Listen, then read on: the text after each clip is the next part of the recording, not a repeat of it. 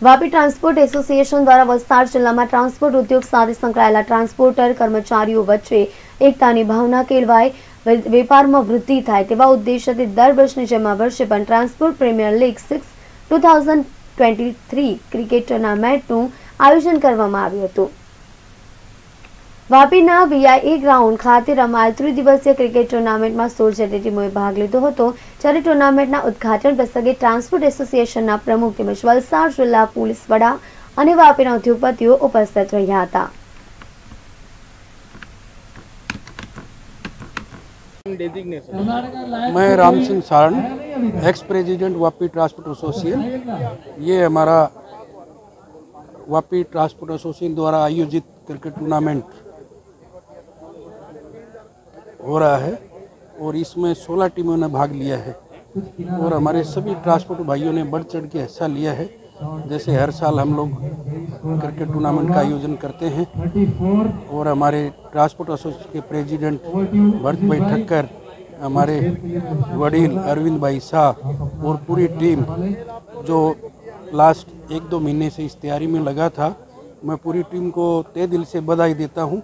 एक बहुत ही शानदार और जानदार प्रोग्राम का आयोजन किया और इसमें और भी सराउंडिंग एरिए के जितने भी जाने माने उद्योगपति सबने यहाँ पे आकर के हमारे को सहयोग किया।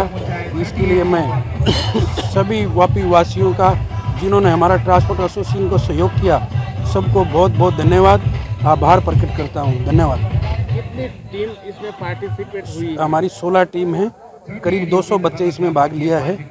और 16 की 16 टीम लास्ट छः महीने तक छः महीने से अपनी अलग अलग तैयारी में लगा हुआ था जो एक दूसरे के साथ में कोऑर्डिनेट रख करके अपनी जो प्रैक्टिस जारी थी आज उसका यहाँ पे हम लोगों के सामने प्रदर्शन है।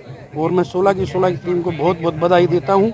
वो ऐसे ही बढ़ चढ़ के हिस्सा लें और आगे बढ़ते रहें। धन्यवाद। कितने दिन मैच चलेगा ये और क्या क्या ये हमारा तीन दिन मैच चलने वाला है और इसमें तीन दिन का जो क्रिकेट टूर्नामेंट है वो जो टीम टॉप में आएगा, फ़र्स्ट और सेकंड, उसी हिसाब से उसको आगे लेकर के हम लोग जाएँगे।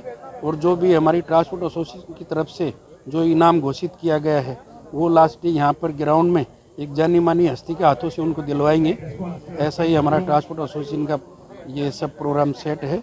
और आप लोग मीडिया वाले यहाँ पर आकर के जो हमारे ट्रांसपोर्ट एसोसिएशन को एसोसिएशन को जो सहयोग करते हैं, आप लोगों का भी धन्यवाद। आभार प्रकट करते हैं। उद्देश्य है हमारा इस तरह का हमारे उद्देश्य है ट्रांसपोर्ट हमारे ट्रांसपोर्ट सेक्टर में 2000 ट्रांसपोर्टर यहाँ पे सक्रिय हैं।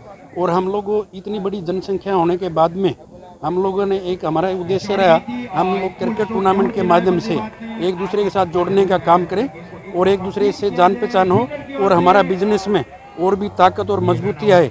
हम मिलजुल कर एक दूसरे के साथ कोऑर्डिनेट करके बिज़नेस करें और आगे बढ़ें। धन्यवाद।